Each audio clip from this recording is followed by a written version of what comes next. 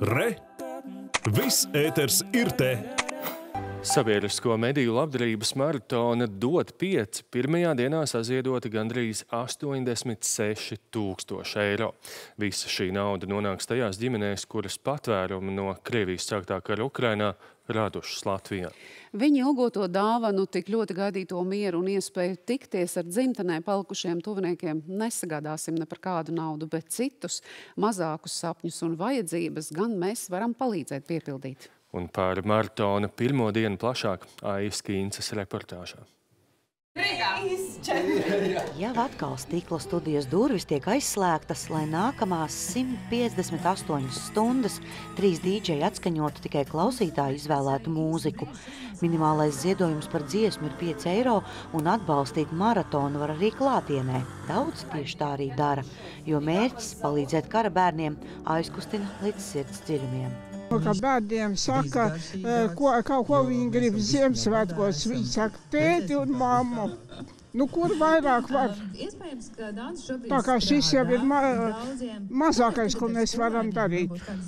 Nu, es jau kā pensionāris piecīti, bet, ja saņemšu pensiju, ielikšu vēl.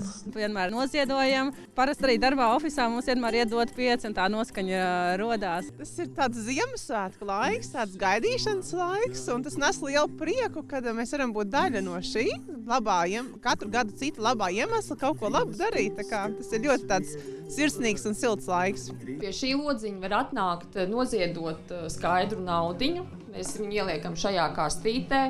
Uh, mums ir arī uh, banka nu, aparāts, ar ko ar karti var norēķināties, un šeit var uh, pasūtīt dziesmu.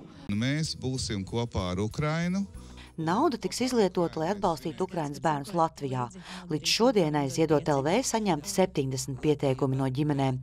Visvairāk bērniem trūks datora, lai mācītos attālināti, ziemas drēbes un sporta lietas. Šī visa ziedotā nauda nonāks tad, ārkārtas fondā un tiks nodrošināts bērnu pamatvajadzības, lai arī kādas tas būtu šajā brīdī. Jā, un jā, jāpadomā par to, ka ir Ziemassvētku laiks. Jā, varbūt šie bērni, viņa ģimenes ir pēduši un siltumā, taču nu, gribas taču mazliet, mazliet vairāk. Var varbūt pat labas, foršas čības, jeb ķēdes, piemēram, stilīgas.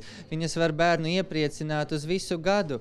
Un nu, visi tie notikumi pāries priekš viņa bišķiņ vieglāk, bišķiņ gaišāk. Es aicinātu visus, kuriem ir, kuri pie sevis ir pieņēmuši Ukraiņu ģimenes vai zina, ka kaimiņos dzīvo droši rosināt, iedot 5.lv mājaslapā. Tur arī ir Ukraiņu valodā šis pieteikums.